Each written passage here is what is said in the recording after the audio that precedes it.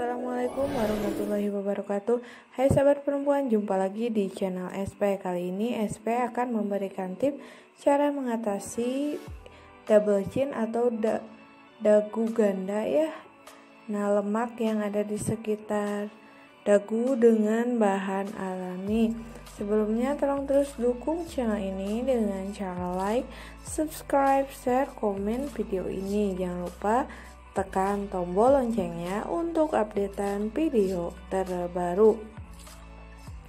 Nah, untuk bahan-bahan yang digunakan, yang pertama adalah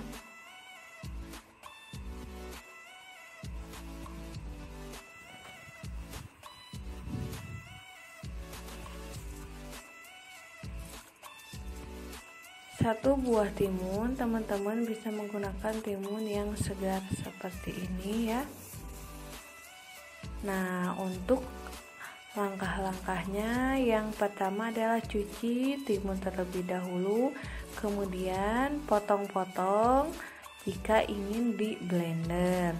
Namun, jika teman-teman ingin melumatkannya dengan diparut, cukup diparut seperti ini ya, teman-teman. Nah, setelah diparut, oleh teman-teman dan lumat ya untuk pelumatannya bisa juga ditumbuk kalau tidak ada parutan ataupun blender. Yang penting halus ya teman-teman. Nah kemudian teman-teman bisa menyaringnya dengan saringan. Nah setelah terdapat air dari saringan ya setelah disaring air ini lalu disaring Nah, teman-teman bisa mengaplikasikannya dengan koas ataupun kapas ke area yang terdapat double chin ya atau lemak berlebih di area dagu ataupun di perut juga bisa cukup dioleskan saja. Nah, kemudian aplikasikan diamkan semalaman.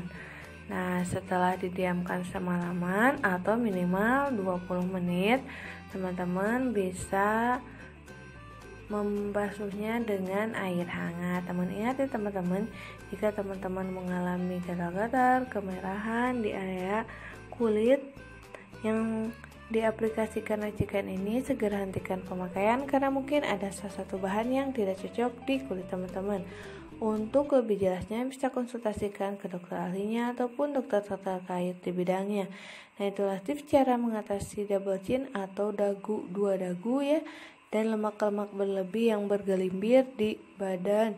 Semoga apa yang SP sampaikan bisa bermanfaat dan menambah pengetahuan. Tolong terus dukung channel ini dengan cara like, subscribe, share, komen. Terima kasih. Wassalamualaikum warahmatullahi wabarakatuh.